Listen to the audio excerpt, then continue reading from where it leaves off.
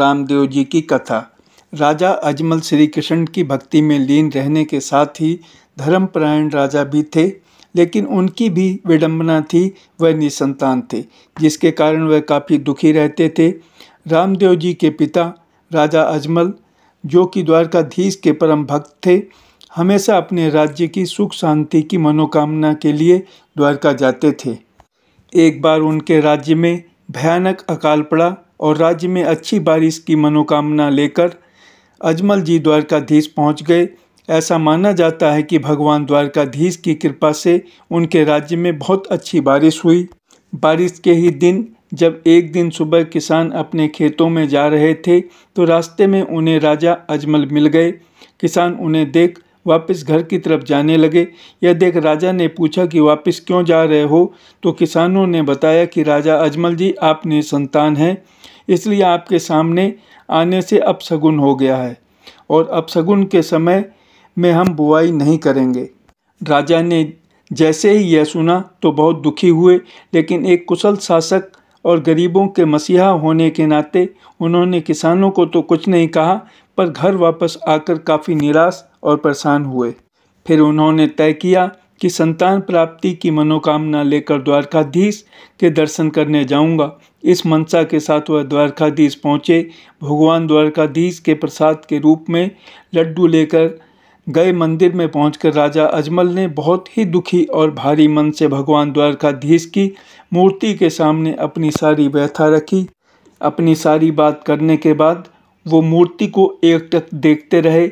उन्हें ऐसे लगा कि भगवान की मूर्ति उन्हें मुस्कुराती हुई देख रही है। ऐसा देख अजमल जी को गुस्सा आया और उन्होंने वह प्रसाद रूपी लड्डू, जो कि द्वारकाधीश के लिए लाए थे, वह मूर्ति पर फेंक दिया। जो कि द्वारकाधीश की मूर्ति के सिर पर जा लगा। यह सब वाक्य देख मंदिर में स्थित पुजारी को लगा कि राजा पागल हो गए हैं। पुजारी ने राजा अजमल जी को बोला कि, भगवान यहाँ नहीं है। भगवान तो समुद्र में सो रहे हैं। अगर आपको उनसे मिलना है तो जाओ समुद्र में जाकर उनसे मिलो।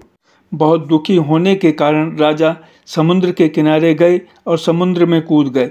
भगवान द्वारकाधीश ने राजा अजमल को समुद्र में दर्शन दिए। श्री कृष्ण ने स्वयं बलराम जी के साथ उनके घर अवतरित होने का वरदान दिया और कहा कि वह खुद भादवा की दूज के दिन राजा अजमल के घर पुत्र के रूप में आएँगे। राजा अजमल ने देखा कि भगवान के सिर पर पट्टी बंधी है राजा अजमल जी ने पूछा, भगवान, आपको यह चोट कैसे लगी? भगवान ने कहा कि मुझे मेरे एक प्यारे भक्त ने लड्डू मारा। यह सुनकर राजा बहुत ही शर्मिंदा हुए। अजमल ने भगवान से बोला, मुझ अज्ञानी को कैसे पता होगा कि आप ही मेरे घर आए हैं? भगवान ने कहा कि जब मैं तेरे घर आऊँगा तो आँगन में कुमकुम के पैर के निशान बन जाएँगे, मंदिर के शंख अपने आप बजने लगेंगे। यह सब सुनने के बाद अजमल जी खुशी खुशी घर लौटे। अपनी रानी को सारी बात बताई, उनके निश्चित समय के बाद और भगवान के वरदान अनुसार पहले बलराम जी ने बीरम देव के रूप में राजा अजमल की पत्नी मैणादे के गर्भ से जन्म लिया। इसके नौ माह बाद भगवान भादवा की दूज के दिन भगवान कृष्ण राजा अजमल के घर रामदेव के रूप में पालने में अवतरित हुए।